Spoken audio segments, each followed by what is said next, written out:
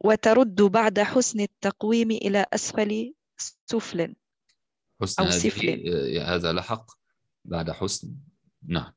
ووضع هذا الخط. آه، نعم. وضع هذا الخط. أشار إشارة إلى أن ثم لحق. لكن لا يعني أحيانا يفعلون هذا. كما رأينا في مخطوط كان مخطوط تاريخ بغداد أظن.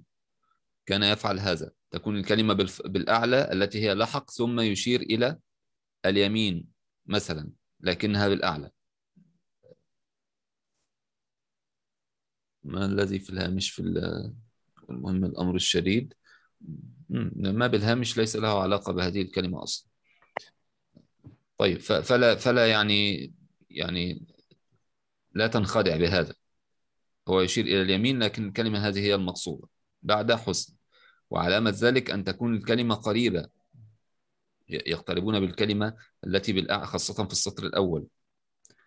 آه، الكلمة التي في السطر في السطر الأول أو التي اللحق الذي على بجانب أول كلمة من اليمين أو من اليسار من هنا أو من هنا.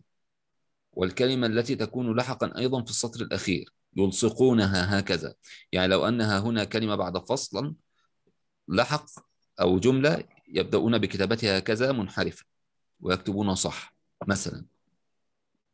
آه، أو إن كانت هنا مثلا هكذا يكتبونها هكذا باتجاه هكذا. وتكون بجانب فيه تماما. أو من اليسار تكون بجانب فصول مثلا نجد أن الكلام خارج هكذا مثلا. بجانب فصول مثلا ومنحرف هكذا. أو بالأعلى هكذا. حسن يخرج هكذا قريب من السطر جدا ثم يكتب الكلام ثم يكتب صح واضح؟ نعم نعم. واضح لكن أحيانا تكون حاشية أيضا يعني ينبغي أن يكتب صح كما نبهت على هذا من قبل يعني